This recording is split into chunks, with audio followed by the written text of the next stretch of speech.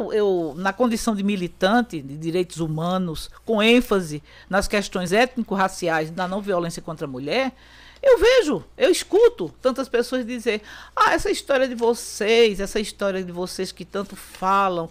No Brasil não existe essa história de racismo. Ah, é?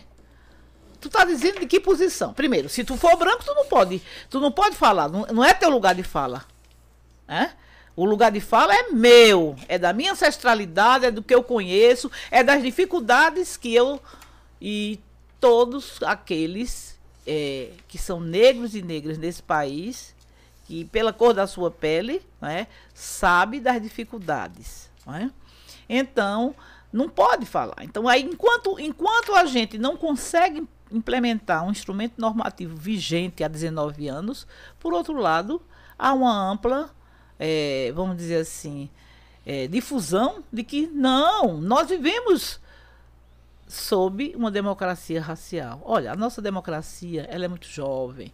A nossa democracia em si, ela e sofremos né, um retrocesso so, recente. Pois é, não. E quer dizer, veja, de 85, né, a, a redemocratização do país. Inclusive cá, quando se compara tempo, com outras né? nações, né, sim, que já tem 100, sim, 200 sim. anos. De... Então, pois é, enquanto nós buscamos, nós lutamos, né?